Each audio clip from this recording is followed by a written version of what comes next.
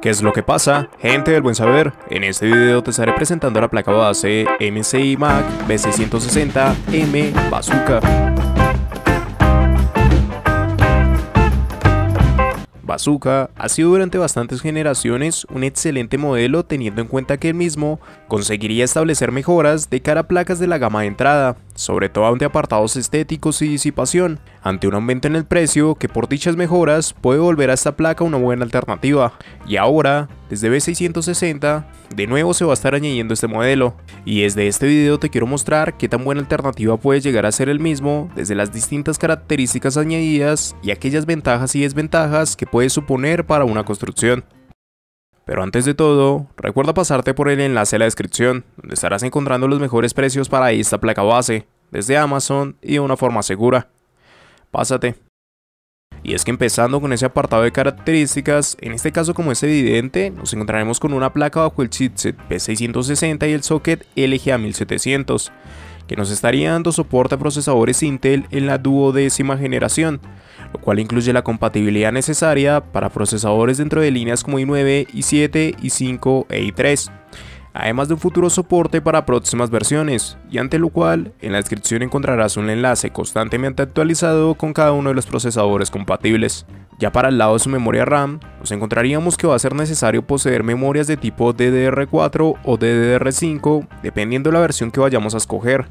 Ambos modelos van a disponer de la capacidad para añadir módulos en un máximo de 32 GB y que en conjunto sumarían hasta 128 GB dentro de los 4 DINs correspondientes en la placa. Pero donde realmente se empieza a dar el cambio sería a partir de sus frecuencias. Por un lado, las versiones con memorias de tipo DDR4 limitarían las frecuencias sin modificaciones hacia los 3200 MHz, y a partir de la activación de perfiles XMP podemos llegar a alcanzar hasta 4800 MHz mientras que DDR5 subiría este valor a 4800 MHz sin ningún tipo de modificaciones y a un máximo de 6000 MHz conseguidos a partir de la activación de perfiles XMP, siendo en este caso el único cambio a partir de las versiones en DDR4 y DDR5, y dejando el resto de características a conservarse para ambas placas. Si es que nos situamos en su almacenamiento, en este caso vamos a contar con 4 puertos SATA de 6 GB por segundo, que pueden ser configurados en modo RAID 0, 1, 5 y 10. Adicional a esto encontraremos dos M.2,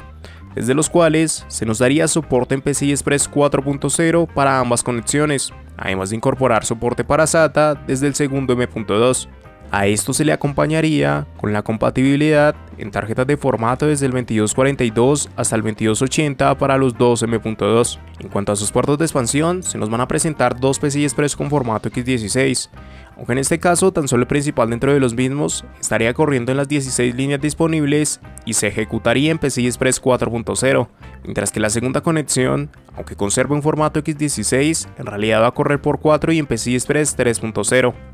Adicional a esto se nos va a estar sumando un PCI Express X1 3.0. Cada una de estas características estarían acompañadas junto al código de audio ALC897 y ya dentro de sus conexiones internas y fuera un carácter común para el funcionamiento propio del sistema podemos encontrar un encabezado USB 3.2 de primera generación tipo C, un USB 3.2 de primera generación tipo A, dos USB 2.0, una conexión para bombas de agua, dos conexiones para ventiladores externos, una conexión TPM, un encabezado para tarjetas Thunderbolt, una conexión de tipo ERGB, dos conexiones de tipo ARGB y adicional a esto se va a estar destacando el sistema de Easy de Bootlet, así como también para el lado de las conexiones externas se nos presentarían un puerto PC2 para teclados y ratones, dos USB 2.0, un DisplayPort, un HMI, dos USB 3.2 de primera generación tipo A, una conexión RJ45 de 2.5 gigabits, dos USB 3.2 de segunda generación tipo A y tres conectores de tipo jack. Ya por último, nos encontraremos con un URM que va a contar con un total de 13 fases de alimentación, las cuales estarían completamente recubiertas por una disipación pasiva, siendo en este caso cada una de las características añadidas por parte de esta placa de un formato de tipo micro ATX, donde sobre todo encontraremos que gran parte de su mejora va a estar establecida en la estética determinada por este modelo y la evolución en cuanto al URM y la cantidad de fases añadidas,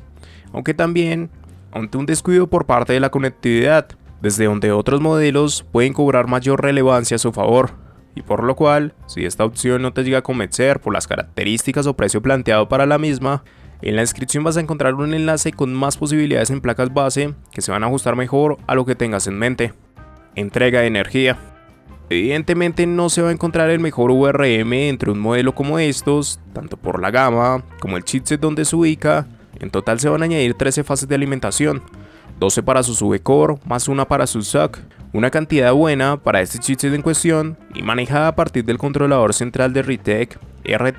RT3628AE, desde el cual nos encontraríamos con un diseño de riel dividido o potencia dividida para la construcción de su URM, con el que consigue que una única señal sea gestionada a partir de dos etapas bajo la misma potencia. A esto se le va a sumar un MOSFET de lado alto AONS 36308 y un MOSFET de lado bajo AONS 36303 para cada una de estas fases, y a su vez siendo acompañado con una disipación completa para las mismas, desde donde principalmente se puede destacar la cantidad de fases incorporadas, ya que sería el aspecto de mayor aumento con respecto a modelos de menor gama como S3H, MA para Asus y hasta Plus. Aunque sin embargo, sí que compartiría con estas mismas placas MOSFET de gamas similares, y por lo mismo nos vamos a encontrar en un escenario en el que se iguala en cierta medida al VRM de GamingNets en B660, a pesar de que esta alternativa de Gigabyte cuente con menor cantidad de fases, algo que se compensaría con incluir mejoras a partir de sus MOSFET, por lo que finalmente nos encontramos con un buen VRM dentro de B660, y a su vez también se vería representado por parte de placas como B660A dentro de esta misma compañía, tanto para su versión micro ATX como ATX, dando inclusive la posibilidad de sumar procesadores en la línea i9, partiendo de que los mismos, por las limitaciones del chipset, van a funcionar bajo stock. Sin embargo, es una placa sobre todo pensada ante líneas como i7, i5 y todas las alternativas inferiores a estas, teniendo en cuenta que no se le va a sacar el mayor provecho a un procesador de mayor gama desde un modelo de D660. Y así, como cada una de estas características nos plantean una placa base con muy buenas prestaciones para realizar nuestros ensambles, de igual manera reconocer aquellas ventajas que nos puede plantear es un apartado fundamental, por lo cual estos serían algunos de esos puntos que jugarían a su favor. En este caso, no van a ser muchos los apartados que pueden llegar a sobresalir con una placa como estas, ya que en principio es un modelo levemente alejado de lo que sería una gama de entrada, desde donde se puede suponer por ejemplo de mejoras en cuanto al apartado estético, tanto por el diseño en cuestión, característico de las placas bazooka, como el que está incluyendo un backplate unificado a su placa y una disipación completa desde el URM. Precisamente desde su URM es donde se va a entrar otra de sus mejoras, sobre todo ante la cantidad de fases añadidas que haría un aumento de lo que se puede representar con modelos de menor gama. A partir de acá, gran parte de las mejoras que se pueden dar estarían establecidas en las versiones de algunas de sus conexiones, ya sea propiamente con sumar un RJ45 de 2.5 GB, el añadir conexiones hacia USB más recientes, el estar incorporando PCI Express 4.0 en gran parte de la conectividad de puertos de expansión dentro de lo que puede ser su PCI Express X16 principal, que aparte añadiría reforzamiento y hasta su M.2, donde uno de estos inclusive contará con su disipación. Y de nuevo, deja como principales puntos a considerar por la elección de este modelo a la estética por un lado y a la línea que representa, y desde el otro lado las mejoras a partir del URM, por lo menos ante aquellos modelos de menor gama como puede ser TC3H, MA para Asus y ProRS. Aunque de igual manera, a pesar de que se añaden una gran cantidad de ventajas para esta placa base, a su vez no es un modelo que vaya a estar excepto de contener algunas desventajas, por lo cual estos serían algunos de sus puntos que no jugarían tanto a su favor. Desde acá sí que nos podemos encontrar con una gran cantidad de desventajas, ya sea precisamente determinadas por modelos de mayor gama que destacarían muchas características adicionales, tanto desde el chipset en cuestión donde se ubica como aquellas alternativas de mayor gama, a partir de las cuales se puede suponer el que cuente con una mayor cantidad de M.2, mejores versiones en las conexiones, mejoras en el VRM y varios apartados extra. Sin embargo, este no es el problema más grande de esta placa, ya que en este caso su precio es el que puede causar el mayor de sus conflictos, debido a que en muchos escenarios el costo de esta placa va a interferir con otros modelos, a partir de los cuales se harían mejoras bajo otros aspectos.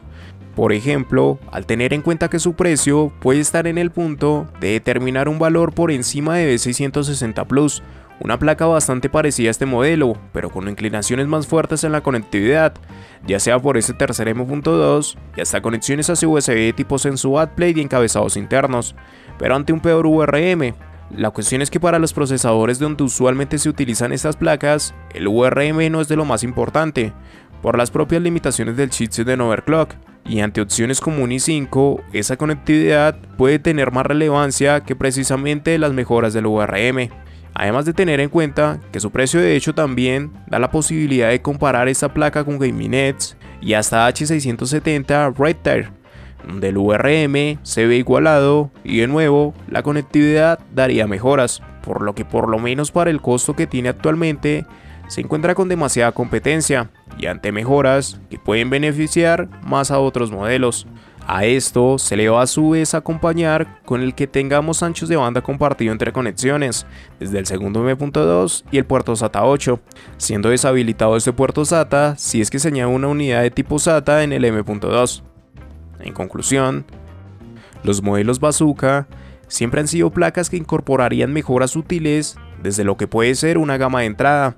y este B660 se parte de esto. Ya es una placa con disipación completa en su URM, con una mayor cantidad de fases, mejoras estéticas con un backplate unificado y representando la línea Bazooka. Además de leves mejoras en las versiones de algunas de sus conexiones. El resto de aspectos siguen representando una gama de entrada. La cuestión es que el conjunto de cada una de esas características las llevaría a un costo donde tiene mucha competencia fuerte, ya sea en principio con modelos como B660 Plus, hasta escalar a lo que puede ser una Gaming Edge y H660 Red Tire, donde por un lado Plus quitaría las mejoras en el URM de lo que nos puede dar Bazooka, para representar mejoras en conectividad.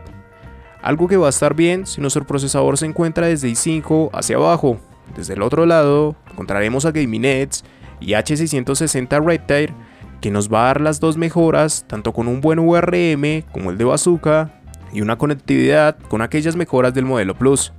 Y ante esto es donde parte mi recomendación por estas placas, al estar ligado a este modelo por compartir costo, por lo que en principio el modelo Bazooka va a ser recomendable si es que el precio se comparte con Plus y queremos un procesador en la línea i7 y sus variables. Por debajo de estos procesadores, la conectividad de Plus añade un punto a su favor para la elección por esta placa bastante importante, e inclusive ese 3H también entraría a considerarse, por lo que a la final prácticamente da la misma conectividad de bazooka y ante un menor costo, y con procesadores como i5 su RM no va a tener ningún problema. A partir de acá, la estética de la placa va a ser otro de esos factores de elección, y que ya dependerá de cada usuario para determinar qué tanta importancia le damos al mismo. Ahora, si es que da el mismo precio que Gaming Edge o H670 Red Tire, es absurdo el incluir el modelo Bazooka, ya que se dan mejoras en todos los aspectos desde estas dos placas, por lo que es una placa bastante dependiente de su costo, al ser compartida con muchos de los modelos en esta gama, y por ello, tan solo ante algunos escenarios va a ser una buena elección. Y recuerda, pasate por el enlace en la descripción, donde estarás encontrando los mejores precios para esta placa base, desde Amazon y de una forma segura. Pásate.